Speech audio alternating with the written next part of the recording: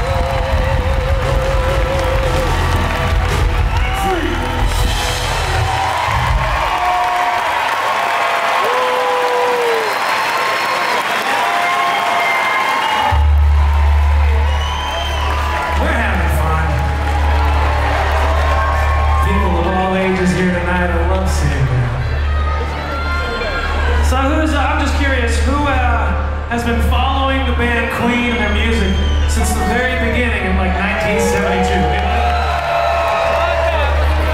Nobody here looks old enough for that. That's crazy. Wow. I am honored to Yeah, be in very. your presence. Five years old when you started playing. was born just shortly after that. Who's counting?